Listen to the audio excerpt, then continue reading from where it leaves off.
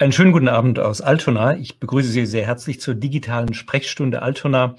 Mein Name ist Dirk Arnold. Ich leite die Abteilung für Onkologie, Hämatologie und Palliativmedizin hier an der Asklepios Klinik in Altona. Das ist die Erkrankung für, das ist die Abteilung für Tumorerkrankungen. Und das ist natürlich gerade unser schönes, unser Thema heute Abend, Tumorerkrankungen. Was gibt's Neues in der Tumormedizin? Wie kann man Tumorerkrankungen möglichst optimal behandeln? Ähm, ich bin mir sicher, dass es von Ihrer Seite eine Reihe und viele Fragen dazu geben wird, auf die wir im zweiten Teil ähm, zusammen diskutierend eingehen werden. Ich freue mich sehr auf Ihre Fragen und äh, habe mir eigentlich vorgenommen, Ihnen im ersten Teil ein paar Informationen aus der Welt der Tumormedizin zu geben, ein paar Informationen, was Krebs denn überhaupt ist, wie Krebs entsteht, was wir wissen müssen und was wir als neues Verständnis von Krebs haben, einfach vielleicht für Sie als kleine Grundlage, um eine kurze Einführung zu geben, was denn in der Krebsmedizin wirklich in den letzten Monaten, Jahren neu hinzugekommen ist und was ähm, uns allen wir, die wir behandeln und Sie, die sich für diese Therapien interessieren, für sich selbst, für Ihre Verwandten, ähm, was wir da wissen müssen, um eben eine möglichst gute Auswahl zu treffen. So, lassen Sie uns vielleicht gerade starten und ähm, ich freue mich, wie gesagt, dass Sie dabei sind. Lassen Sie sich, lehnen Sie sich jetzt zurück, 20 Minuten, so ein paar Gedanken teilen und dann sind wir in dem Frage- und Antwortteil. Was sind die Grenzen und die Möglichkeiten der Tumormedizin? Darum soll es im Prinzip jetzt eben heute Abend gehen. Und äh, wenn wir uns die Tumormedizin, jetzt mal gucken, mal ansehen, was wir in der Tumormedizin machen, und leider geht es nicht weiter, Dankeschön. Dann ähm, müssen wir eins im ähm, Hinterkopf haben, Tumormedizin ist ja ein relevantes Thema und Krebserkrankungen sind ein relevantes Thema. Und wie Sie auf dieser Folie sehen, ist so, dass wir eine absolute Zunahme von Krebserkrankungen in Deutschland, in Europa, in den westlichen Ländern haben. Nun haben wir nur eine Zunahme oder haben wir auch positive Zeichen? Wir haben auch positive Signale. Und positive Signale sind hier. Da steht auf dieser Folie oben drüber altersstandardisierte Mortalitätsrate. Das heißt, das ist die Sterblichkeitsrate an Krebs. Sie sehen, dass diese meisten Kurven von jeder Tumorart unterschiedlich, aber tendenziell abnehmen. Und altersstandardisiert heißt, wenn alle in einer Gesellschaft immer gleich alt wären, und wir wissen, dass wir eine alternde Gesellschaft haben, aber wenn wir mal mathematisch, rein rechnerisch so tun und sagen, alle würden eigentlich immer gleich alt bleiben, die Gesellschaft würde sich in ihrer Zusammensetzung nicht ändern, dann hätten wir bei den meisten Tumorerkrankungen sogar jetzt einen Rückgang der Sterblichkeit. Und das ist das, was ich als positives Signal Ihnen einfach schon jetzt ganz zu Beginn geben möchte, nämlich wir haben eigentlich eine Abnahme der Sterblichkeit und das heißt, wir haben effektive Therapien, wir haben Therapien, die immer besser werden und die die Situation rund um die Krebserkrankung günstiger für die Patienten machen. Aber ich habe Ihnen gesagt, wir starten vielleicht ein bisschen weiter vorne dran und die eine Frage ist, wodurch entsteht eigentlich Krebs? Und wir wissen, da sind eine Reihe von Faktoren, die sind gut bekannt, die sind gut erforscht. Das sind äh, Einflussfaktoren aus der Umwelt wie Rauchen, Alkohol als ein äh, Teil, Ernährung, aber natürlich auch das, was wir als Lifestyle-Risikofaktor für Krebserkrankungen Nummer eins haben. Das ist der Gentleman auf der linken Seite. Da geht es um Übergewicht und wir wissen, dass die Krebserkrankungshäufigkeit ganz eng mit Übergewicht korreliert ist. Und es gibt andere Faktoren, die haben weniger was mit Lifestyle zu tun, sondern mit dem, was uns sonst in der Natur umgibt. Sonnenbrand, Sonnenexposition, aber auch Umweltfaktoren, Umweltverschmutzung, in manchen Berufen auch ähm, Krebs als Berufserkrankung. Das ist die Situation, bei der wir eben sind, warum wir absolut eine Zunahme von Krebserkrankungen haben vorwiegend eben durch die alternde Gesellschaft und auf der anderen Seite eben auch die Faktoren, die wir beeinflussen können, die wir zum Teil nicht beeinflussen können.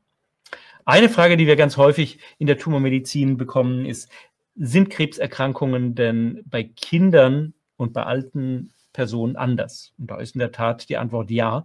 Ähm, wir wissen, bei Kindern haben Krebserkrankungen recht selten fast nie etwas mit Umweltfaktoren zu tun. Und bei alternden oder bei alten Menschen haben Krebserkrankungen eigentlich fast immer mit der entweder der Alterung des Körpers, der Zellen zu tun oder mit dem ganzen Leben voller Einflussfaktoren, die ähm, den Körper schädigen. Und das heißt, wir sprechen sozusagen über ganz verschiedene ähm, Krebs Entstehungsdinge. Und das ist fast schon jetzt die erste einleitende Frage. Was führt denn zu Krebs? Wie entsteht denn überhaupt Krebs oder was ist Krebs? Wir wissen, Krebs ist im Prinzip nicht eine Krankheit, es sind viele Erkrankungen, aber sie beruhen alle auf einem Prinzip. Nämlich wir haben irgendwo im Körper eine Veränderung an den Zellen, an diesen kleinsten Einheiten des Körpers. Wir wissen, irgendeine Tumorzelle mutiert oder ändert sich. Und wir wissen auch dann, diese mutierte Zelle bleibt nicht alleine, sondern die teilt sich immer weiter. Und es kommt sozusagen von dieser Mutation noch weitere Tochtergeschwülste, weitere Tochterzellen dazu. Aber, das zeigt das Bild auf der rechten Seite, das ist nicht ein Geschehen, das eintritt und es dann nicht mehr aufhaltbar ist, sondern wir wissen, Krebsentstehung beruht auf sehr, sehr vielen Faktoren. Und eine Mutation muss noch lange nicht zu einer Krebserkrankung führen. Bei jedem von uns mutieren im Laufe eines Tages viele hundert Zellen, vielleicht sogar tausende Zellen. Und äh, es findet immer wieder das Immunsystem einen Mechanismus, wie es die weitere Mutation aufhält. Also das heißt, es ist häufig nur eine Krebszelle, die entsteht und dann kommt das Immunsystem und kann die dann wieder bekämpfen. Was auch genauso wichtig ist, sind diese Faktoren, die auf der rechten Seite beschrieben sind. Die heißen Initiatoren oder Promotoren. Das sind molekularbiologische Faktoren, die erst nacheinander genauso ablaufen müssen, um aus einer einzigen Krebszelle eine Krebserkrankung machen zu lassen. Also das heißt, das Immunsystem passt auf, dass aus einer mutierten Zelle keine schlimme Krebserkrankung ist.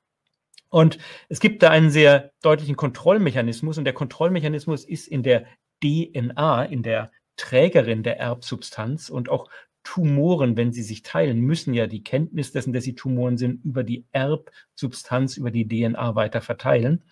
Und wir wissen, dass wir also da verschiedene Mutationen haben. Wir haben zum einen Mutationen, die schon in der, in den Genen von Patienten angelegt sind. Das sind eben dann die familiären Erkrankungen.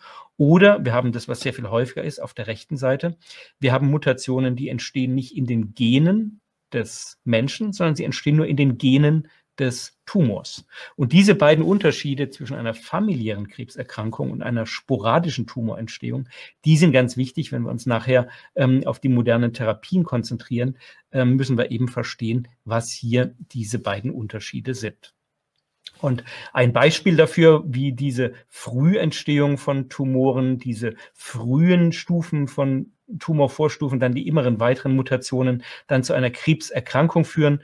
Und das Beispiel, das wir vielleicht am besten kennen, ist Darmkrebs. Und bei Darmkrebs wissen wir eben, dass ganz frühe Mutationen nur kleine Veränderungen zum Beispiel in der Schleimhaut machen und dass nur die Abfolge von vielen Mutationen hintereinander dann äh, die richtige Darmkrebserkrankung gibt. Und das ist sozusagen ein sehr gutes Beispiel, wie die Molekularbiologie und die klinischen Befunde, also das heißt, was man im Labor sieht und was man in der Schleimhaut im Darm sieht, ähm, gut übereinstimmen.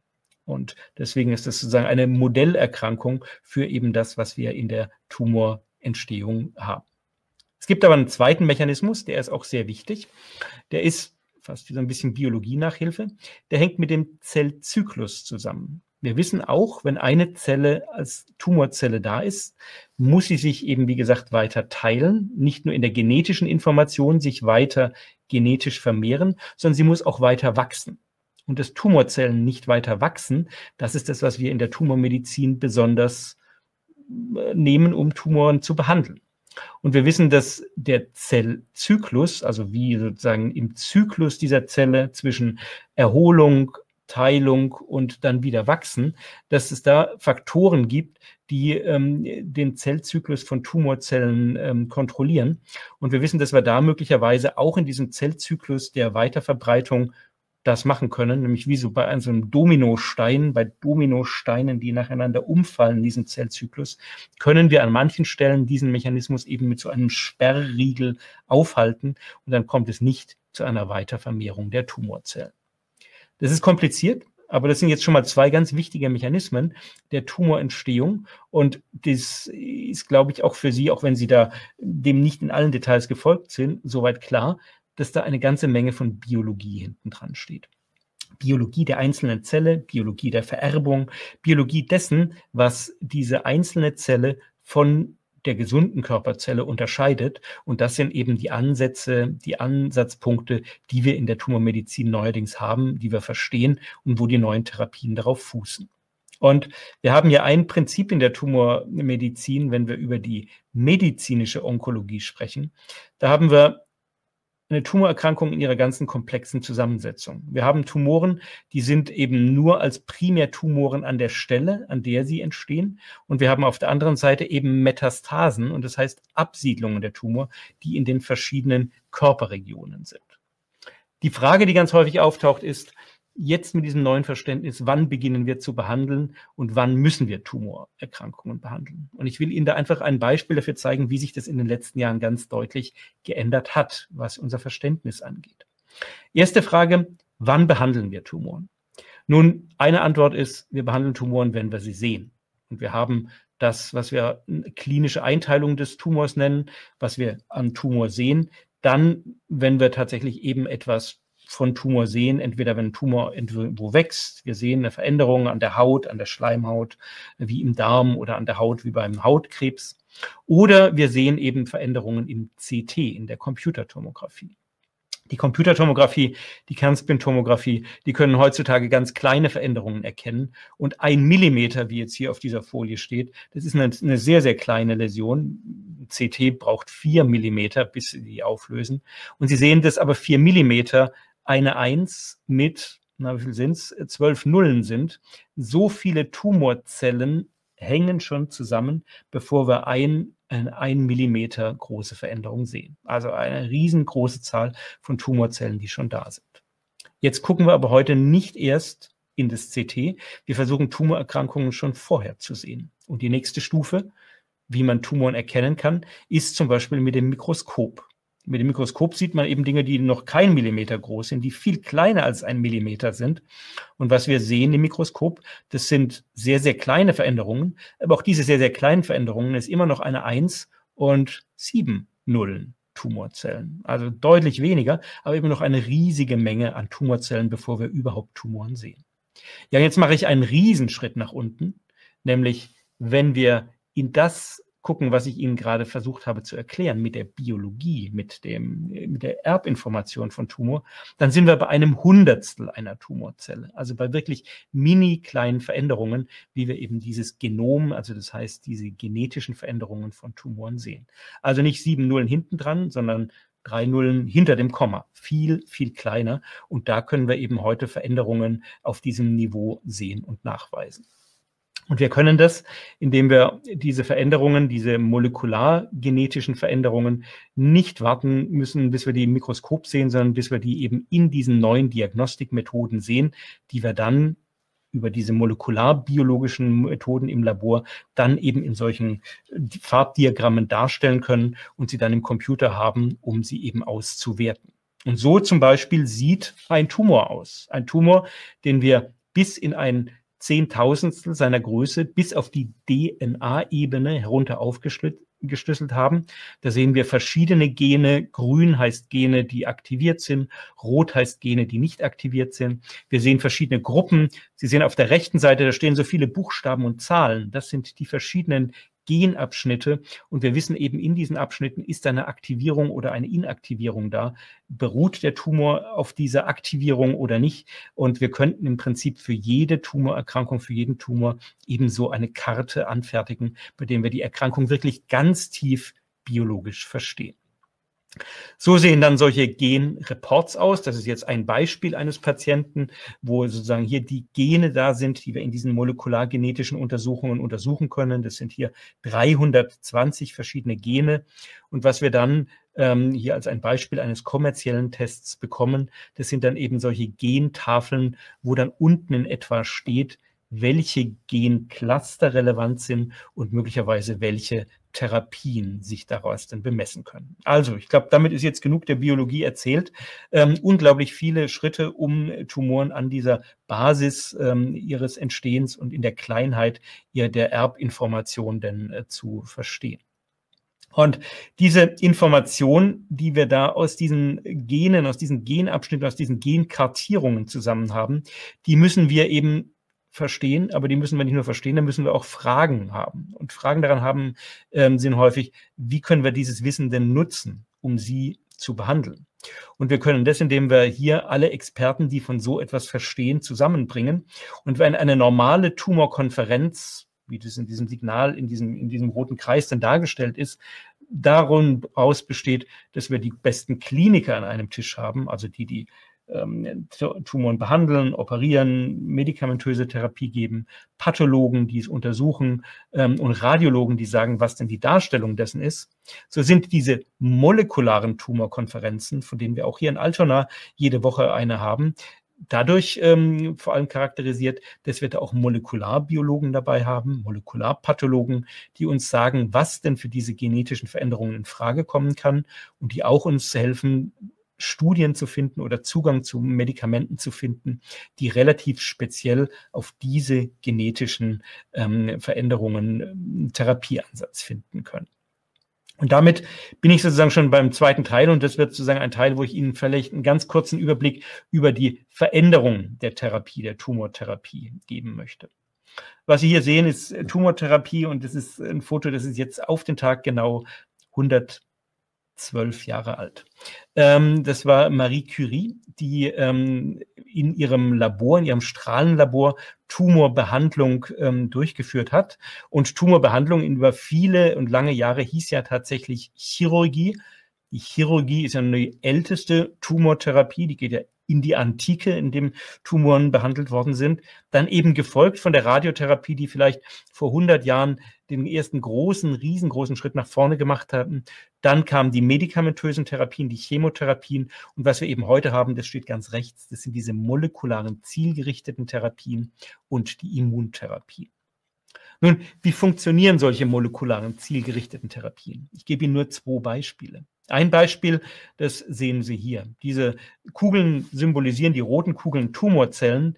Die blauen, äh, Entschuldigung, die gelben Kugeln, das symbolisiert das Immunsystem, eine Abwehrzelle, eine NK-Zelle, das heißt eine natürliche Killerzelle, so heißen die wirklich. Und Sie sehen das über Medikamente wie diese Antikörper, diese grünen Ys, diese Killerzellen zu den Tumoren gebracht werden, an denen andocken und dann die Tumoren, Sie sehen es ganz rechts unten, dann zerstören. Also ein sehr, sehr elegantes Prinzip. Und wir wissen, dass das nur ein Prinzip ist, das wir in der modernen Tumortherapie haben. Das setzt hier in diesem Bild da außen an, die Kugel da mit diesem mit, den, mit der Schale, die Sie sehen, ähm, das ist eine Tumorzelle. Alles links unten davon ist innerhalb der Tumorzelle. Alles außen ist außerhalb der Tumorzelle. Und wir wissen, dass wir da an verschiedenen Stellen ansetzen können, dass Medikamente da ansetzen. Das, was ich Ihnen gerade gezeigt habe, ist ein Mechanismus, der in diesem roten Kreis sich abspielt. Also das heißt, es andocken außen an eine Tumorzelle. Aber wir wissen, dass wir auch an dem inneren Teil dieser Rezeptoren Therapien ansetzen können, dass wir hier verschiedene Kinasen, Kinase-Inhibitoren, so wie die heißen, als Therapien einführen können.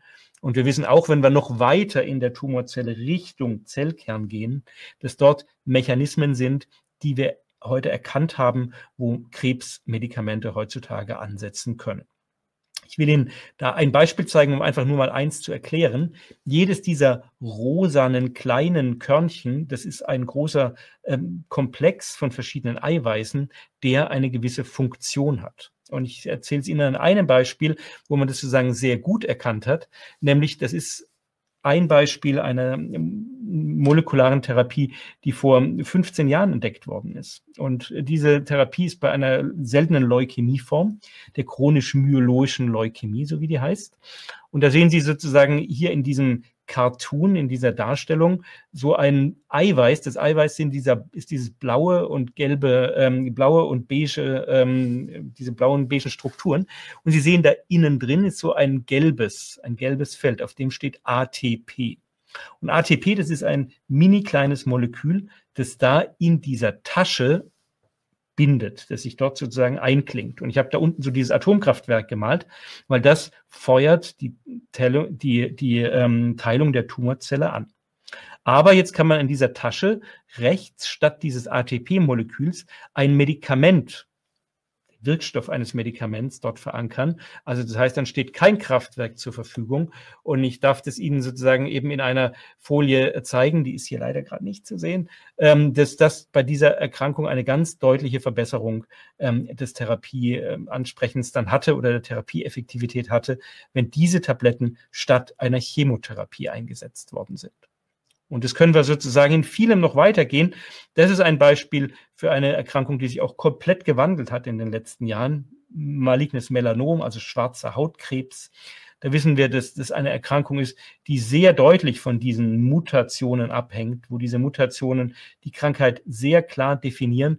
Und wir wissen, dass wir hier Medikamente einsetzen können. Hier jetzt eben ein Beispiel von so Überlebenskurven, so wie wir das in der Tumorforschung darstellen, wo eben eine Therapie mit einer Tablette ähm, Vemurafenib viel besser wirksam ist als mit der Chemotherapie, die vorher gegeben worden ist. Besser verträglich und sehr viel besser wirksam. Und die Königsdisziplin ist natürlich genau die, die Sie sich jetzt schon hieraus ableiten können, nämlich ähm, in der Tat die Frage, ja, wie identifizieren wir denn die richtigen Patienten? Früher haben wir Tumormedizin vor allem so gemacht, dass wir gesagt haben, Patienten sind über eine Diagnose klassifiziert. Brustkrebs, Darmkrebs, Magenkrebs. Und wir wissen heute, dass das eben sehr viele Unterkrebsformen innerhalb dieser Diagnosegruppen sind. Und wir können heute vereinzelt Patienten aus diesen Diagnosegruppen mit speziellen molekularen Veränderungen für spezielle Therapien zur Seite bringen. Also das sind hier die blauen und ähm, gelben Männchen, die wir aus dem Kreis identifizieren. Die, die keine entsprechende Mutation haben, die bleiben weiter bei den Standardbehandlungen. Aber wir müssen eben feststellen, ob denn Patienten zu der Gruppe gehören von Patienten, die eben eine genetische Veränderung haben, die die Tumorkrankheit charakterisiert. Und dann würden wir da dann die entsprechende Therapie durchführen. Und so sehen solche Darstellungen aus. Das ist ein Beispiel einer Krankheit, die ganz häufig ist, Darmkrebs. Das ist eine ganz realistische Darstellung, wie wir heute auch in der Klinik Darmkrebs unterscheiden. Ähm, das sind 100 Patienten, also 100 so Männchen. Und Sie sehen, die haben verschiedene Farben und manche haben einen gelben Punkt und andere nicht. Und ähm, das charakterisiert die Häufigkeit der Zusammensetzung von verschiedenen molekularbiologischen Faktoren, die dann jeweils auch eine andere Therapie zur Folge hat. Also nur als ein Beispiel, ähm, Darmkrebs als eine häufige Erkrankung. Also wir sprechen jetzt nicht mehr von dem Darmkrebs, sondern wir würden heute, wenn wir über Darmkrebs sprechen, in der medizinischen Onkologie eben genau diese Faktoren, diese Beschreibung mit in die Diagnose einfließen lassen. Das steht auch im Arztbrief dann drin, damit entsprechende Therapien dann gewählt werden können. Und so können wir sehr, sehr viele Beispiele machen, selbst Krankheiten, deswegen habe ich das hier reingenommen, die als sehr schwer zu behandeln gelten, wie der Bauchspeicheldrüsenkrebs, wo Sie eben vielleicht gehört haben, dass es eine der ähm, Krebserkrankungen mit der schlechtesten Prognose ist.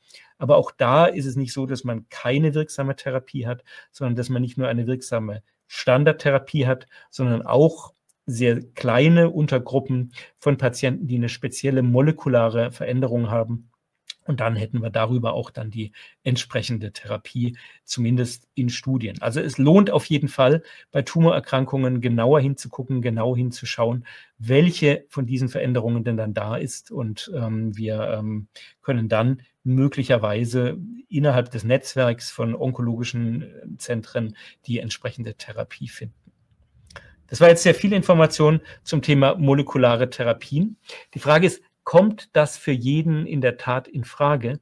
Und äh, da will ich Ihnen die Schwierigkeit in dieser nur einen Folie hier darstellen, die wir uns wirklich täglich stellen müssen. Nämlich diese genetische Testung, über die wir hier sprechen, die uns hilft zu identifizieren, ob Patienten denn zu so einer seltenen Gruppe kommen. Das ähm, führen wir sehr gerne durch, aber heutigen Stand ist, wir entdecken viele Veränderungen, aber nur für wenige Patienten hat es eine Konsequenz. Und das ist hier ein Beispiel, um das nur numerisch mal aufzuzählen.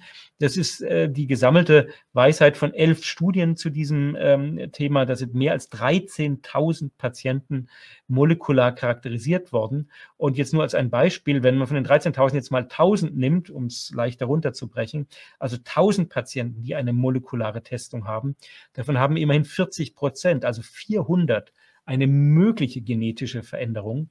Aber nur für 120 von denen ist möglicherweise auch eine passende molekulare Therapie verfügbar und nur zwischen 8 und 30 von denen hat von dieser neuen molekularen Therapie dann einen Nutzen. Wenn der Nutzen da ist, dann ist er groß.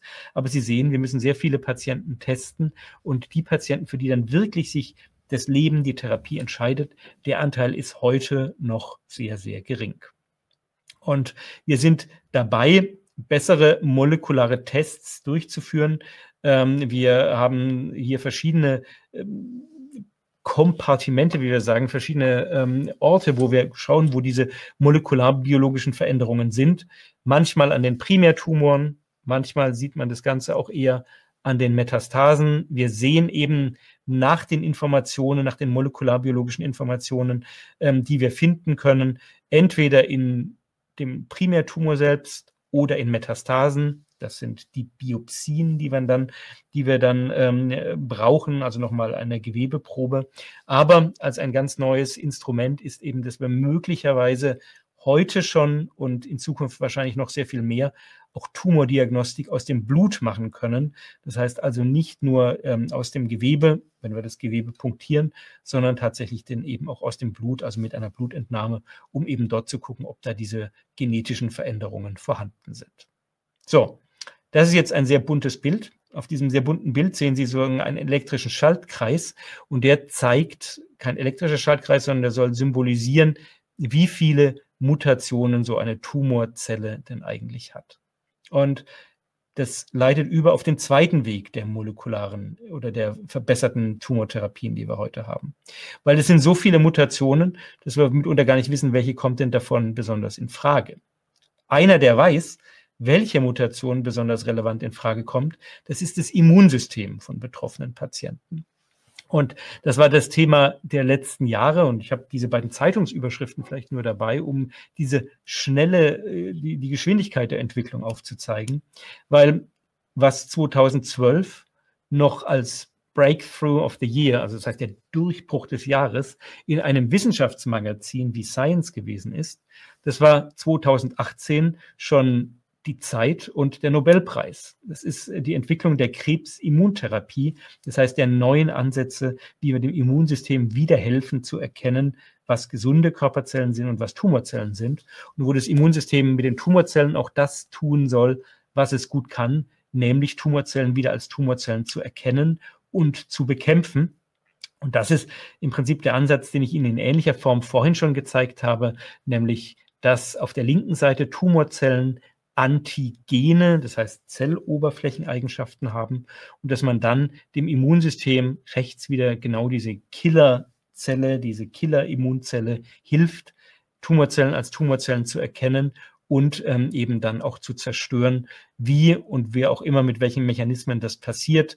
Da gibt es eben verschiedene Ansätze. Zwei habe ich hier aufgeführt, zwei Schlagworte, Ipilimumab oder CTLA4-Blockade oder die sogenannten Checkpoint-Inhibitoren des PD1-Pathways, ähm, Nivolumab, Pembrolizumab, Atezolizumab.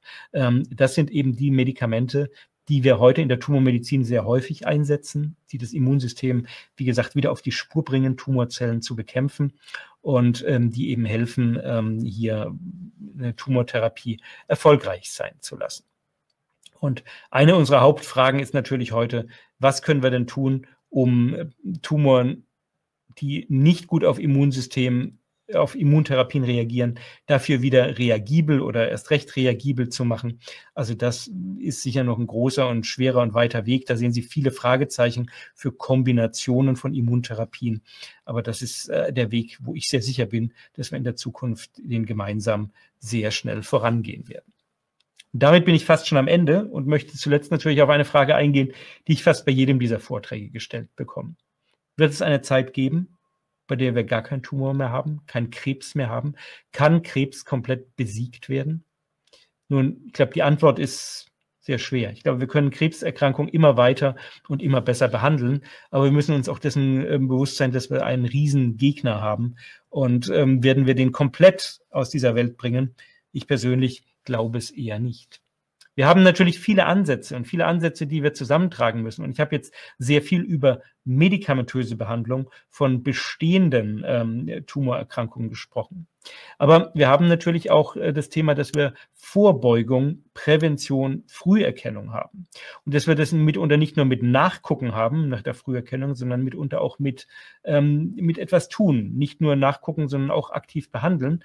Und Sie wissen, dass wir zum Beispiel jetzt, wo wir gerade auf einen Impfstoff für das Coronavirus warten, ähm, vor jetzt inzwischen auch schon fast ähm, 15 Jahren einen Impfstoff für eine sehr häufige Erkrankung bekommen haben, nämlich Papillomaviren, die zum äh, Gebärmutterhalskrebs geführt haben. Eine Impfung, die heute als Impfung, als Antikrebsimpfung Standard geworden ist und die, glaube ich, einen Riesenschritt in der Tumormedizin nach vorne gibt. Und wir sind natürlich in einem Gesundheitssystem, das sehr, sehr privilegiert ist, wo wir diese Impfung heute uns ähm, Kindern und Jugendlichen anbieten, ähm, ähm, dass sie gar nicht erst an diesen Krebserkrankungen erkranken werden. Aber wir haben auf der anderen Seite, wird Krebs je besiegt werden? Ich habe hier ein Bild aus Indien gemalt. Das Thema ist häufig wahrscheinlich in Zukunft Gebärmutterhalskrebs kein Thema mehr, das wir in der Westeuropa haben. Aber es wird global noch ein Riesenthema sein, weil Sie können sich vorstellen, bis so ein Impfstoff auch in Entwicklungsländern verfügbar ist, da wird noch ein Riesenschritt vorhanden sein. Dann das zweite ist, können wir Blut im Blut Krebserkrankungen erkennen. Es gibt große Studien, hier jetzt ein Aufruf einer Studie vom April, wo, Sie sehen es hier unten, mehr als 120.000 Frauen aufgerufen sind, in Vereinigten Staaten an einer Krebsfrüherkennungsstudie teilzunehmen, die nur Blut kontrolliert und die im Blut genau das nachschauen will, was auf dieser Folie in Englisch steht, nämlich dass es möglicherweise einen Bluttest gibt, der für frühe Stufen für Brustkrebs spricht. Also das heißt keine Mammographie in Zukunft, sondern möglicherweise Bluttests, die eben zeigen, ob Tumorzellen, genetische Veränderungen ähm, auch da schon sind und das dann unsere Vorsorgeuntersuchung schon sehr, sehr früh und sehr gut ergänzen wird. Und das gesamte, die gesamte Veränderung, und die zeigt sich sozusagen, glaube ich, hier in dieser Situation, dass wir heute, und ich habe da sehr viel drüber gesprochen, Medikamente haben, dass wir aber unsere Medikamente in der nächsten Stufe weiter und besser anpassen müssen, genauer und treffsicher machen müssen. Und der nächste Schritt ist der, wo wir, ich hatte es vorhin rein numerisch gezeigt, 1000 Getestete, aber nur 8 bis 30 damit dann speziell behandelte, für sehr wenige Patienten diese individualisierten Behandlungen haben und anbieten können. Also, Frage, kann Krebs besiegt werden? Hm, ich glaube nicht über diesen Schritt der molekularen Medizin werden wir sicher sehr viel mehr Patienten sehr viel besser und länger helfen können. Aber die Riesenfortschritte müssen sicher in der Früherkennung, in der Vorsorgeuntersuchung und möglicherweise auch tatsächlich in der Prävention wie mit Impfstoffen etc. erfolgen. Und damit, meine Damen und Herren, bin ich fertig. Eine letzte Folie, eine letzte Folie, die ich aus dem Süddeutschen Magazin im Dezember äh, geklaut habe. Und die Süddeutsche Zeitung hat da sozusagen sehr schön die auf dem rechten Bild die Technologie gehabt, die Technologie, die wir in der Medizin haben. Technologie, in dem, wie ich es Ihnen gezeigt habe, moderne Diagnostik, moderne Medikamente, moderne Bildgebung, auch solche Dinge wie Apps und wie Digitalisierung in der Medizin. Das ist dieses große Gittergeflecht, das diese Ärztin in der Hand hat. Und da steht negatives Szenario, weil Sie sehen im Hintergrund, da steht die hilflose Patientin oder der Patient hebt die Hand und winkt und keiner sieht ihn, weil die Medizin zu sehr mit sich selbst beschäftigt ist und zu sehr um sich selbst rumdreht. Und das positive Szenario ist auf der linken Seite, all diese modernen Instrumente, die müssen wir parat haben, die müssen wir in unseren Taschen haben, aber das Wichtige ist, dass wir als Ärzte, Krankenpfleger, Gesundheit, im Gesundheitswesen Tätige uns dennoch besonders um den Patienten kümmern, den nicht aus den Augen verlieren. Und alles, was wir hier haben, alles, was ich Ihnen gezeigt habe, kann uns nur helfen, den Blick auf Sie, auf Ihre Angehörige und auf alle besser zu haben. Vielen Dank soweit fürs Zuhören. So, jetzt bin ich auf Ihre Fragen gespannt.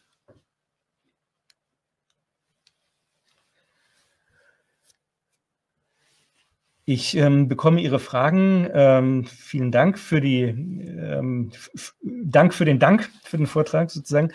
Ich bekomme Ihre Fragen sozusagen hier ähm, über die Chat-Funktion und ähm, habe eine Frage ähm, eines Betroffenen, der eine Operation hatte mit einer Lymphozele nach Prostatektomie, also das heißt mit einer Aussackung des Lymphgefäßsystems, nachdem die Prostata offenbar entfernt worden ist. Gute Frage, was man da tun kann. Ich, ich, muss Ihnen sagen, ich bin etwas ratlos. Ich würde Ihnen raten, das mit Ihrem Urologen zu besprechen, der Sie operiert hat. Ähm, wenn das eine Aussackung des Lymphgefäßsystems ist, das Ihnen da Beschwerden macht, kann es äh, mitunter der beste Weg sein, dass man sowas nochmal mit einem kleinen Eingriff nochmal behebt, nochmal revidiert. Aber eine genaue, detaillierte Auskunft für solche operativen Fragen, ähm, das sollte Ihnen der Urologe geben, der ähm, da bei der Operation ähm, mit dabei war oder ein Urologe, der sie betreut. So, weitere Fragen.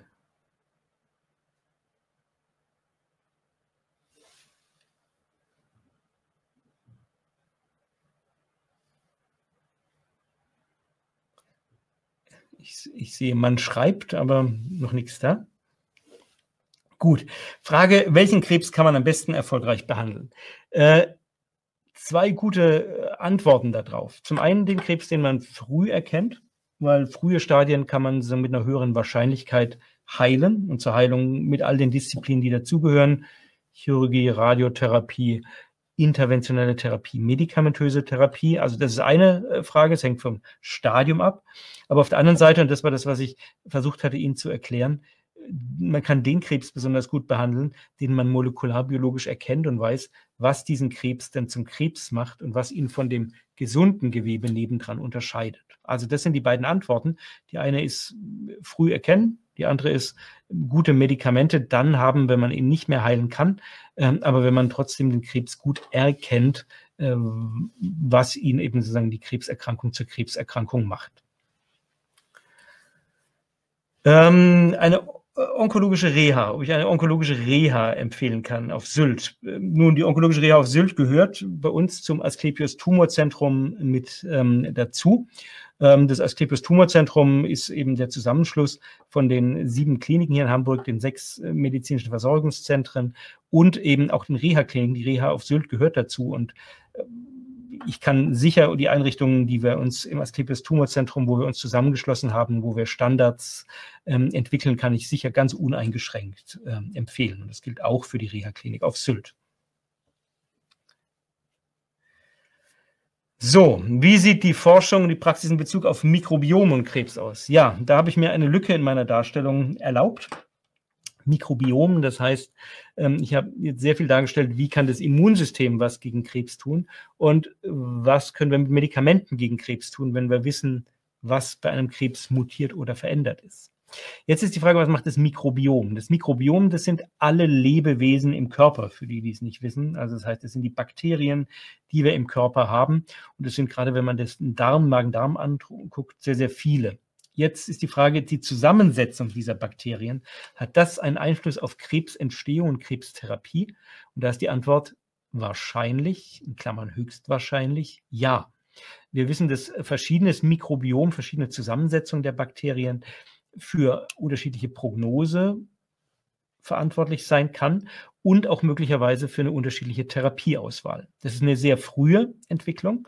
Also die Antwort, spielt es eine Rolle? Ja die Antwort auf die Frage, wann äh, hat es therapeutische Konsequenzen, da muss ich sagen, noch warten, weil das können wir sozusagen noch nicht sagen. Da müssen, brauchen wir noch mehr wissenschaftliche Untersuchungen.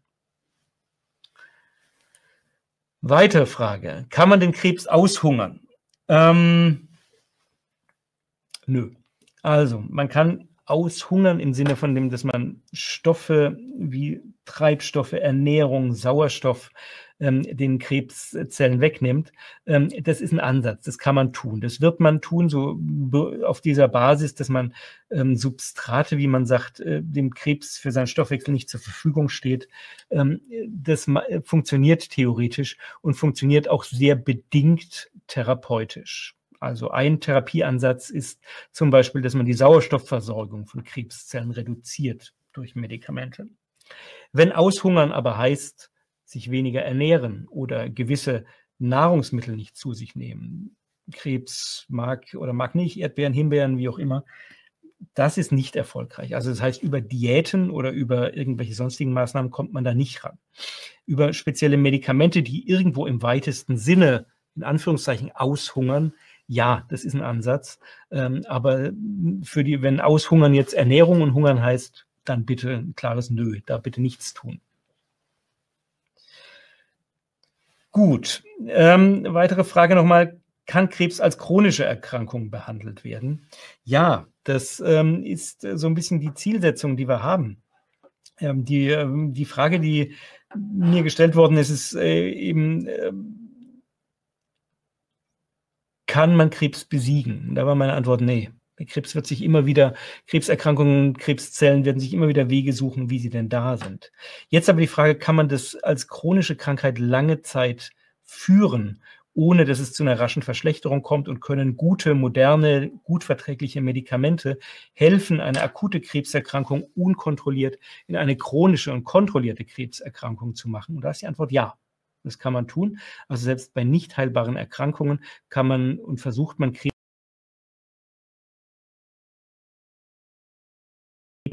Krankheit nicht heilbar ist, mit chronischen Medikamenten trotzdem eine sehr gute Lebensqualität bei einer langen Lebenszeit rausholbar ist, auch wenn die Krankheit nicht mehr ähm, heilbar ist.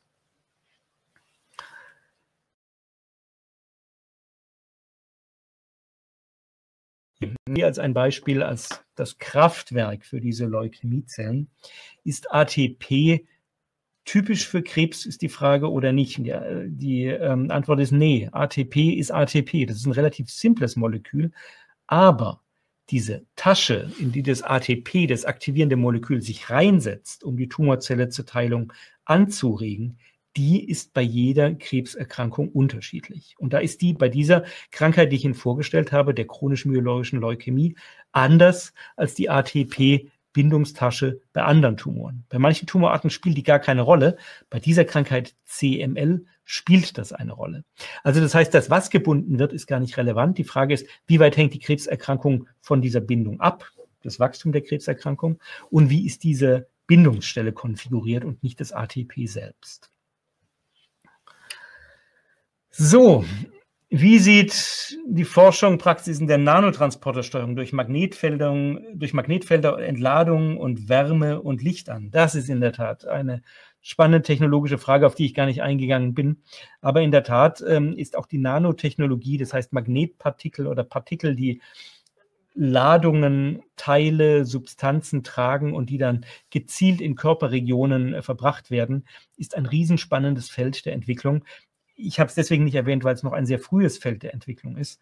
Aber ich bin mir sehr sicher, ich habe Ihnen jetzt als moderne Therapien, zielgerichtete Therapien und Immuntherapien aufgezeigt. Da gehören noch andere sehr moderne dazu. Aber ich bin sehr davon überzeugt, in drei, vier Jahren wird auch die Nanopartikeltherapie ähm, bei so einem Vortrag eine große Rolle spielen. Eine extrem gute Frage, aktuell aber noch vielleicht drei, vier Jahre zu früh, um wirklich das Potenzial gut abschätzen zu können. Jetzt kommt eine spezielle Frage zum Blasenkrebs. Rezidiv bei Progredienz. Ja, was macht man? Ähm, Blasenkrebs ist eine, ist eine Krankheit, die, ähm, ja, die man mit verschiedenen Methoden beheilen kann. Ähm, die Chirurgie spielt eine große Rolle das heißt das Wegschneiden, die operative Therapie. Wir wissen, dass eine unspezifische Immunantwort durch eben diese BCG-Therapie, das heißt durch die Induktion einer Immunantwort durch eine durch die Injektion von, von abgetöteten Bakterien ausgelöst werden kann. Das ist tricky, das ist ein interessanter Ansatz. Ein dritter Ansatz ist die Strahlentherapie. Ein vierter ist die medikamentöse Therapie. Bei der medikamentösen Therapie waren das bislang irgendwie so ein bisschen äh, in die Jahre gekommenen Chemotherapien. Aber das Feld, das ich gerade vorhin dargestellt hatte mit der Immuntherapie, das ist gerade beim Blasenkrebs eins, das, das sich da sehr breit macht. Blasenkrebs ist meistens recht sensibel auf diese modernen Immuntherapie-Antikörper. Und jetzt Ihre Frage, was ist das Beste an Therapieoptionen? Das kann ich so allgemein sicher schwer beantworten. Sonst muss man natürlich genau gucken, was war bisher schon in Behandlung, wo ist gerade das Problem, wie sieht es aus, was steht im Vordergrund der Behandlungsmühe. Aber eine dieser vier ähm, Therapieformen muss man dann sozusagen speziell ähm, äh, dann sich da festlegen oder ähm, abstimmen.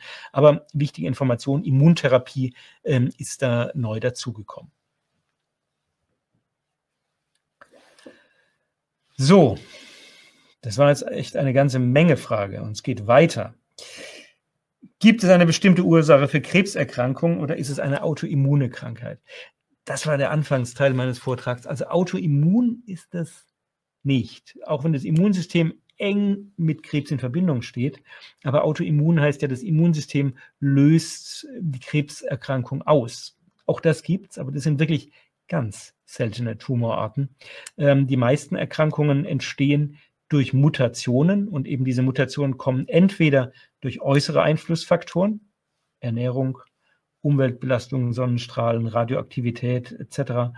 Oder, und das ist, das ist und oder, das ist wirklich ein und oder, sie entstehen rein zufällig und ähm, auf der Basis von wirklich ähm, Pech gehabt, rein zufällig. Und ähm, das ist sozusagen das, was ähm, Wissenschaft sind die äußeren Einflussfaktoren relevanter wie Umweltfaktoren, Ernährung, Sonne. Kann man da was tun, wenn man besonders gesund lebt? Oder ist es anderes, andere Sichtweise, ist es doch ganz überwiegend vor allem zufällig, also vor allem einfach Pech, weil diese Mutationen entstehen. Und ähm, ja, was da die prozentuale Zusammensetzung ist, kann man eher was dafür tun, ja oder nein. Das ist wirklich eine ungeklärte Frage von Krebsart zu Krebsart unterschiedlich. Aber vielleicht das als Resümee. Wir haben einen ganz großen Teil von einfach irgendwie wirklich Pech, dass äh, sowas zufällig im Rahmen der Alterung des Körpers entsteht. Aber es schadet auf keinen Fall, die äußeren Einflussfaktoren, die Krebs auch auslösen können, möglichst gering zu halten und sich einen entsprechenden äh, gesunden Lebensstil, ausgewogene Ernährung, viel Bewegung ähm, anzugewöhnen.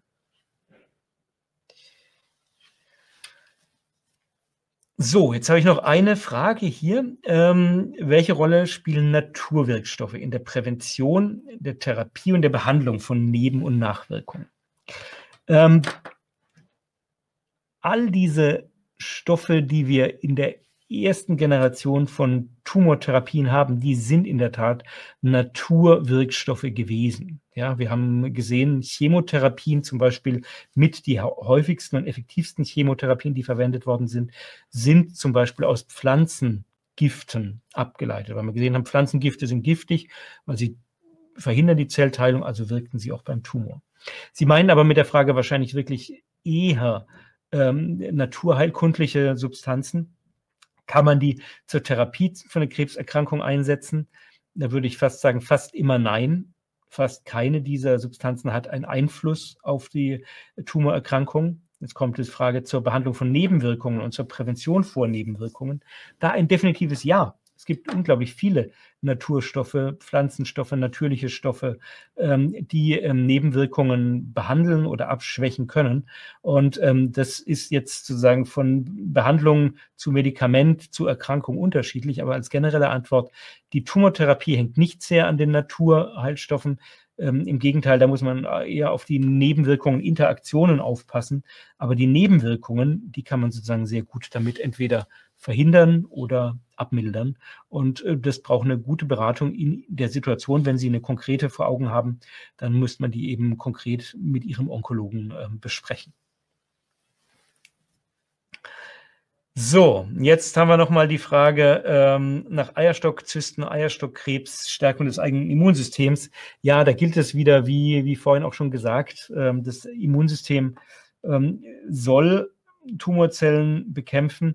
Das Immunsystem muss Tumorzellen erkennen und ähm, eine Stärkung des Immunsystems ist da sicher gut. Also eine Stärkung, wie auch immer man die erreichen kann. Ähm, aber sehr wichtig ist auch, dass man das Immunsystem noch von außen jetzt mit moderneren Medikamenten noch einen gewissen Schub geben kann, dann noch besser ähm, schon entstehende Tumoren oder entstandene Tumoren zu behandeln. Also das heißt, das Immunsystem gut in Schuss zu halten, wieder das Stichwort ausgewogene Ernährung, gesunde Lebensführung etc. ist vernünftig. Und wenn es wirklich schon äh, Tumoren sind, die so weit fortgeschritten sind, dass das nicht mehr reicht, dann kann man eben das Immunsystem mit modernen ähm, Therapieprinzipien auch nochmal angehen und da in die Position bringen, nochmal Krebserkrankungen zu behandeln. Jetzt kommen zwei Fragen zum Thema invasive Therapien. die sind sehr gut. Also können durch Bestrahlung Metastasen gekillt werden? Und die andere Frage, sind invasive Therapien, also Operationen oder externe Bestrahlung, die Ladenhüter oder sind in der Krebstherapie noch brauchbar? Also sie wirken und deswegen sind sie auf keinen Fall Ladenhüter. Ähm, eine Bestrahlung kann Metastasen fast vollständig zerstören. Wenn es kleine Metastasen sind, kann eine Bestrahlung genauso gut wie eine operative Entfernung sein. Also das heißt, wir sind extrem froh, dass wir die Strahlentherapie haben. Aber wir müssen natürlich gucken, wo die Strahlentherapie besonders einsetzbar ist. Und Strahlentherapie ist dann dort gut einsetzbar, wenn Metastasen sehr begrenzt sind, weil eine Bestrahlung natürlich nur an wenigen Stellen wirken kann, während eine medikamentöse Therapie überall wirken kann.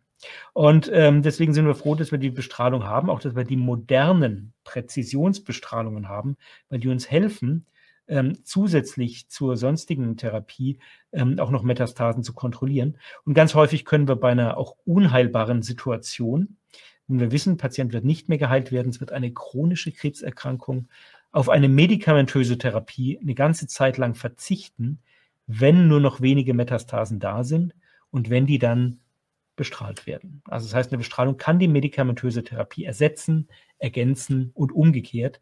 Deswegen haben wir die Tumorboards, die Tumorkonferenzen eigentlich bei jedem Patienten, wo wir in einer Therapieentscheidung stehen, um einfach auch zu gucken, ob solche Verfahren wie Operation, Strahlentherapie, interventionelle Therapien und medikamentöse Therapien, wie die möglichst optimal zusammenkommen.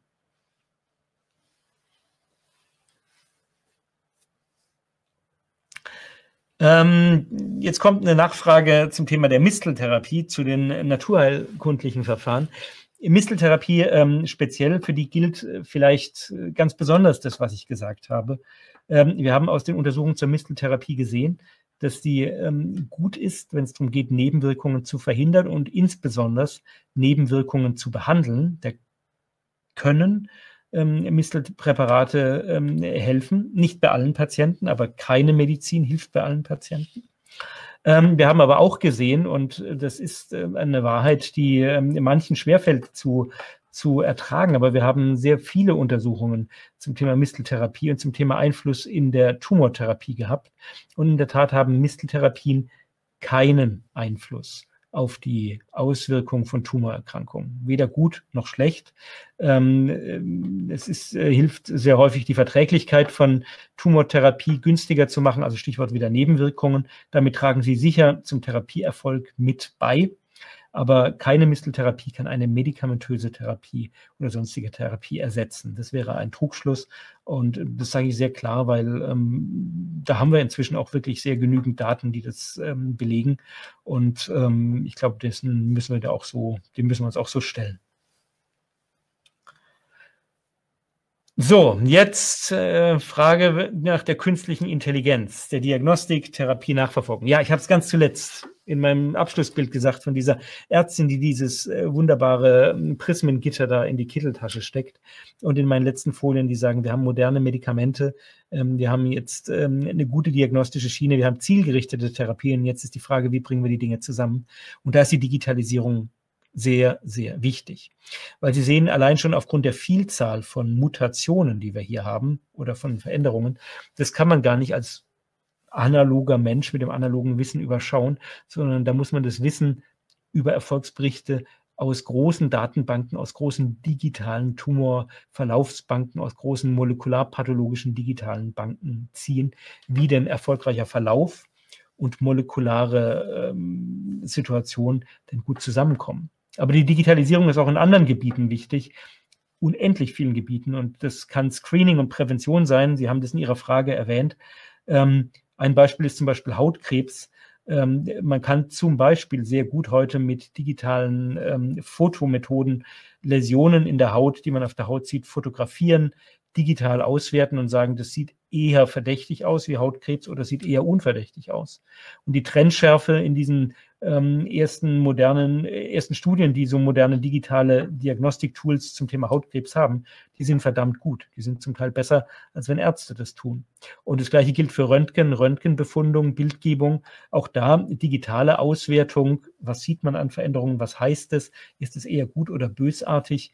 Ähm, aus großen Datenbanken abgeglichen. Das sind schon verdammt powervolle Instrumente, die wir haben. Ich bin ganz sicher, dass wir das in den nächsten Jahren auch zunehmend und immer mehr, schrittweise mehr äh, in der Routine haben werden. Also viel Ansatz für viele digitale Gebiete, vom Screening über die Diagnostik bis hin zur besten Therapieauswahl und natürlich auch solche Dinge wie digitale Patiententagebücher und sowas, ähm, die wir ganz dringend brauchen, um einfach auch besser zu verstehen, wie es Behandelten denn unter einer Therapie wirklich geht ähm, damit wir auch ähm, über den digitalen Verlauf, über den digitalen Medien erfassten Verlauf ähm, wirklich gut abschätzen können, wie denn die Therapieeffekt wirklich auch für den Patienten ist.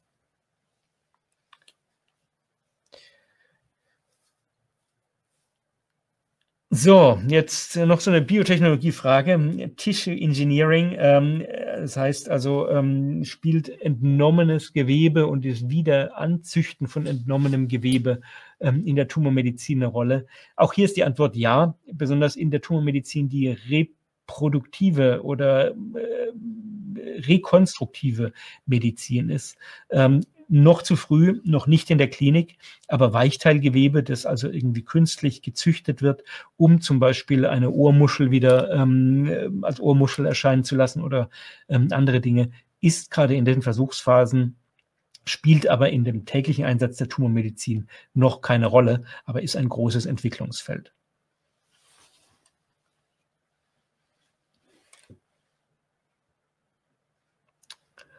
Habe ich was vergessen? Die Stärkung des eigenen Immunsystems ist da oben noch da. Auf die bin ich schon eingegangen. Das eigene Immunsystem, ähm, es ist eine unspezifische Antwort, aber sie ist die beste Antwort. Das eigene Immunsystem stärken Sie über Bewegen, körperliche Aktivität, normales Gewicht halten und vernünftige und ausgewogene Ernährung. Und das ist eigentlich alles. Ähm, Sie brauchen keine Zusatzvitamine, Sie brauchen keine Zusatznahrungsergänzungsmittel, jedenfalls wenn Sie keinen Mangel haben. Äh, das Immunsystem ist sozusagen extrem reagibel auf genau dieses normale, in Anführungszeichen, gesunde Leben. Und äh, das ist es, was ich meinen Patienten auch meistens sage. Wenn sie sich wirklich was Gutes tun, dann ähm, statt dass sie ihr äh, Geld in die Apotheke zu Nahrungsergänzungsmitteln tragen, äh, zur Stärkung des Immunsystems, fahren Sie lieber, wenn es demnächst hoffentlich bald wieder möglich ist, ähm, an die Ostsee oder äh, raus und laufen zwei Stunden. Das ist was, klingt furchtbar banal, aber ist fürs Immunsystem weitaus produktiver ähm, als alle anderen Dinge, die man so vielleicht auf der Agenda hat als Krebspatient. So, Frage äh, wieder genau Natur, naturheilkundlicher äh, Art, neue Erkenntnisse zur Vitamin C Hochdosisinfusionen. Ähm, nee, wir wissen, dass wir es eigentlich damit in der Tumormedizin relativ wenig anfangen können. Und ähm, es gibt sogar Konstellationen, wo hochdosiertes Vitamin C sogar für die Wirksamkeit der Tumortherapie schädlich ist. Ähm, ähm es ist so ein Stichwort, hochdosiertes Vitamin C fängt freie Radikale, die als schädlich ähm, äh, beschrieben werden. Und diese freien Radikale, also diese Sauerstoffpartikel, die werden tatsächlich durch Vitamin T abgefangen. Aber freie Radikale ist zum Beispiel auch das, womit eine oder manche Chemotherapien funktionieren. Und es gibt durchaus Patienten, ähm, die mit hochdosiert Vitamin C sich, wenn sie unter einer Therapie stehen, ähm, den Effekt ihrer Therapie selbst vermasseln, ähm, weil sie ähm, den Effekt, der da entsteht, durch die hochdosierte Vitamin C-Gabe abfangen. Also das heißt, hochdosiertes Vitamin C ist es sinnvoll. Ich glaube nicht. Ist es sinnvoll mit Tumormedizin zusammen? Gut nachfragen mit dem Onkologen, wahrscheinlich eher nicht. Und kann es sinnvoll sein, wenn man einen Wahnsinnsvitaminmangel hat? Ja, dann ja. Aber ähm, wie jetzt gerade schon gesagt, Vitamin C ist ein, ein Vitamin, das ja so in vielen Nahrungsmitteln drin ist. Also das heißt, da schaffen wir es eigentlich kaum, in einen richtig manifesten Mangel zu kommen, wenn wir uns halbwegs vernünftig ernähren. So, jetzt, wir schwanken immer zwischen Naturheilkunde und Technologie. Wieder rüber zu Technologien, den Fragen. In welcher Zeit verdoppelt sich medizinisches Wissen alle drei Monate? Ja, das ist so die Maßzahl, die man sagt, zwischen drei und sechs Monaten. Ähm, und daher, ich glaube, es war auch Ihre Frage ähm, über die Digitalisierung. Das äh, brauchen wir deswegen schon. Deswegen ist die Digitalisierung notwendig, weil wir sehr, sehr viel von dem Wissen, ähm, das wir heute brauchen, das wir haben, das uns zur Verfügung steht, wir selbst als Menschen gar nicht mehr haben können. Ne? Und ich hatte Ihnen vorhin beispielhaft diese vielen Gene, Genmutationen gezeigt. 320 Gene, die alle in verschiedenen Konstellationen zueinander mutiert, nicht mutiert sein können. Da können Sie sich mal äh, ausrechnen, wie viele Konstellationen es davon gibt. Schon da ist klar, brauchen wir Digitalisierung. Und jetzt ist dann die Frage, wenn Zehntausende von Patienten mit diesen Genclustern auf diesen Basis beruhend behandelt worden sind, was lernen wir daraus? Ja, da verdoppelt sich, vervielfacht sich medizinisches Wissen. Und ähm, wir brauchen da, das war Ihre Frage vorhin, ganz klar aufgrund dieser raschen Verdopplung, ganz klar die Digitalisierung in der Medizin, äh, um dem überhaupt äh, Herr werden zu können. So, jetzt haben wir wieder, gehen wir wieder auf die rechte Seite der Naturheilkunde. Sind Paranüsse sinnvoll wegen Selenmangel? Muss ich Ihnen ehrlich sagen, ich bin überfordert, weil ich nicht weiß, wie viel äh, Selen in Paranüssen ist. Äh, wir wissen, dass Paranüsse äh, ganz interessant zu den Nüssen gehören, die in der Prävention von Darmkrebs eingesetzt werden können, wenn Patienten Darmkrebs hatten und äh, wenn Sie verhindern wollen, dass Sie wieder Darmkrebs kriegen, gab es eine amerikanische Studie, die den ähm, Effekt von Paranüssen oder von überhaupt Nüssen dieser ähm, Gruppe untersucht hat. Und in der Tat war das offenbar protektiv. Aber das ist das äh, einzig wirklich gerade Neue, was ich Ihnen zum Thema Nüsse beibringen äh, kann. So, jetzt kommen wir in die Viren. Ähm, Viren gegen Krebs, Viren, die Krebszellen eindringen und die zerstören, so wie jetzt ähm, in der Corona-Krise Viren in Zellen eindringen. Und das ist eine spannende Frage. Ähm, wann können wir Viren in der Krebstherapie äh, handhabbar machen? Ja, das ist unterwegs.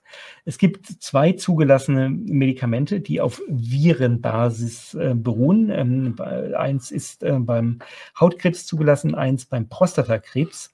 Das sind, äh, die sind nicht wahnsinnig wirkungsvoll, drum sind die nur so am, ähm, äh, am Rande der Therapie-Schemata oder der Therapieoptionen. Aber die neue Generation von Viren, die in der Entwicklung ist, das sind sogenannte onkolytische Viren Onkolytisch heißt, das sind Viren, die in die Tumorzelle eindringen und die Tumorzelle auflösen. Also im Prinzip genauso wie jetzt diese Corona-Situation ähm, in der Tat ist, wie das Coronavirus. Ähm, hier dringen diese Viren, wie gesagt, in die Tumorzelle ein, lösen eine Immunantwort aus und können die Tumorzelle selbst zerstören. Und wir haben gesehen, dass das in Kombination mit anderen Immuntherapien sehr, sehr powerful ist. Da sind erste größere Untersuchungen am Laufen und wir sind sozusagen sehr froh, dass wir in Altona hier ähm, über unsere ähm, klinische Tumorforschungsabteilung ähm, auch Zugang zu diesen Substanzen sehr bald haben werden. Ähm, an, internationalen Studien auch teilnehmen sind, ganz in der, vorderen Reihe. Und ich finde es ein wahnsinns, mich persönlich sehr interessierenden Therapieansatz. Also ist ein spannendes Feld, dranbleiben und ähm, da wird es aus Altona News geben dazu.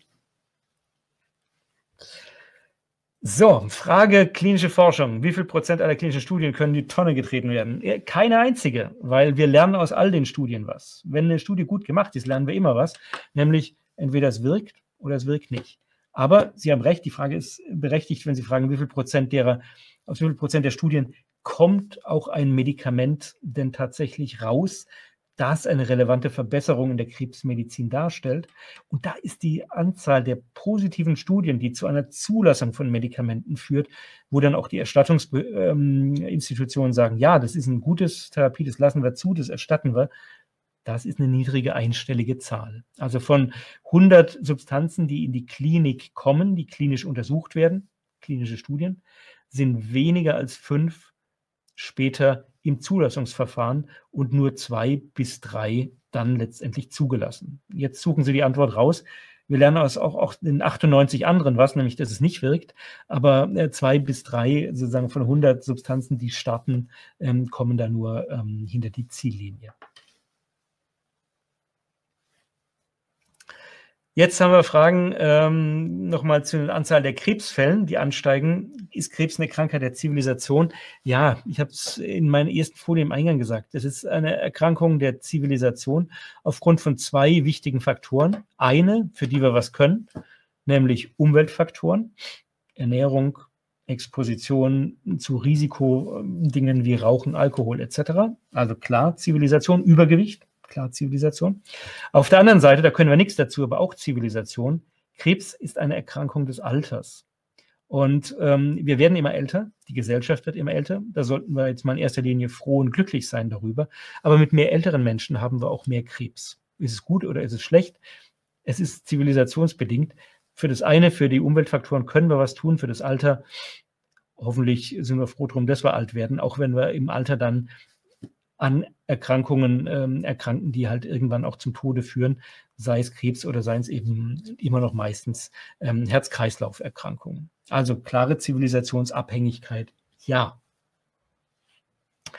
So, jetzt eine Frage. Prostatagewebe. Sind Bakterien gefunden worden? Ist es gut, schlecht? Gibt es dazu Studien?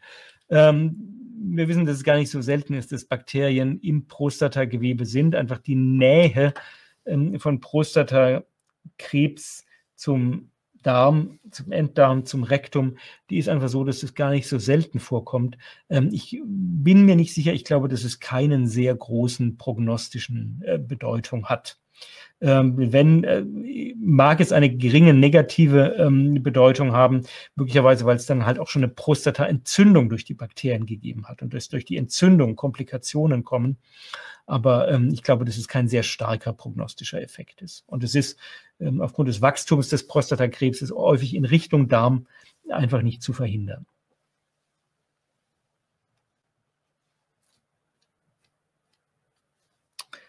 Da wird noch geschrieben. Ich glaube, ansonsten haben wir tatsächlich alle Fragen, die ich hier sehe. Sind wir auf dem Kiviv sozusagen alle abgearbeitet. Ähm, so, die Frage jetzt zu gutartigen Tumoren. Gutartige Tumoren, ob die Frage ist, können sich gutartige Tumoren zu bösartigen Tumoren entwickeln? Ja, das können sie. Ne? Ähm, das ist in der Tat was, was wir sehen, dass gutartige Tumoren ähm, entarten können, zu bösartigen Tumoren werden. Das ist nicht sehr häufig, aber ähm, das ähm, spielt eben darauf hin ab, was wir ähm, vorhin eben diskutiert haben. Gutartigkeit und Bösartigkeit, Vermehrung von Tumorgewebe, das liegt häufig sehr, sehr nah beieinander. Und äh, wir müssen eben auch diese gutartigen Tumoren sicher im Blick behalten, um zu sehen, wann sie denn zu bösartigen Tumoren werden.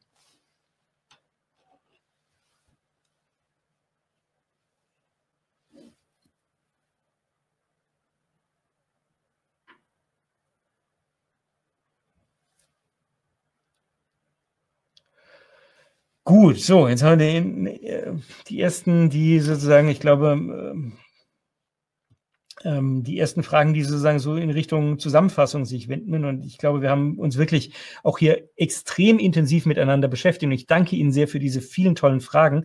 Ich will als letzte Frage ähm, die Frage äh, noch beantworten, die ja eher so eine, äh, ja, wie soll man sagen, ähm, äh, wirtschaftliche Frage fast ist, wie werden sich die äh, Kosten von Krebstherapien entwickeln? Und es ist äh, relativ klar zu beantworten. Die Kosten werden höher sein. Moderne Krebstherapien kosten mehr als, ähm, als äh, ältere Krebstherapien. Das wird gesundheitsökonomisch ist es jetzt schon eine Frage, wird auch zukünftig eine Frage werden. Ähm, das ist ähm, gar nicht leicht, eine richtig gute Antwort zu finden, wie man denn damit umgeht. Ich glaube, wir müssen uns dem ganz einfach stellen, dass wenn wir moderne Therapien in allen Bereichen der Medizin haben wollen, ähm, dann müssen wir auch die Kosten dafür auf die Seite, auf die Schulter nehmen. Sonst ähm, bleibt uns da jetzt endlich gar nichts anderes übrig, als zu sagen, wir kapitulieren. Und ich will, äh, plädiere aber dafür, dass wir die ähm, die Rationalität oder beziehungsweise die Relation im Auge behalten. Und ich habe in Vorbereitung für meinen Vortrag eine Folie nochmal angesehen, die ich von österreichischen Kollegen habe, die im vergangenen Jahr analysiert haben, ähm, wie denn die Pro-Kopf-Kosten für onkologische Therapien in Österreich sind. Und die waren pro Kopf, pro Österreicher pro Jahr 47 Euro gewesen. Und ähm, das ist natürlich gesellschaftlich ähm, schon eine ganze Menge, dass da, wenn Sie das äh, multiplizieren, zusammenkommen. Auf der anderen Seite aber war die Frage natürlich auch, ich bleibe bei dem Beispiel in Österreich, was waren denn die Ausgaben pro Kopf für Alkohol, Tabak und ähm, Genussmittel? Und die lagen bei 390 Euro in diesem Zusammenhang. Also das heißt, Krebstherapien werden immer teurer, das ist gar nicht von der Hand zu weisen. Es ist eine gesellschaftliche Frage, wollen wir diesen Fortschritt und wollen wir das unserem Gesundheitssystem ermöglichen? Wir stehen im Wettbewerb mit anderen Kostentreibern und darüber müssen wir uns klar sein, auch in dieser Relation. Und eine bessere Antwort kann ich sozusagen jetzt gerade gar nicht geben, außer dass wir natürlich von Onkologenseite immer darauf achten müssen, dass wir nicht Pseudo-Hypes produzieren, sondern dass wir auch relevante Verbesserungen als relevante Verbesserungen bezeichnen, mit den Anwendern, mit den Erstattern diskutieren. Und wenn es wirklich relevante Verbesserungen sind, dann muss man fast sagen, kosten die das eben.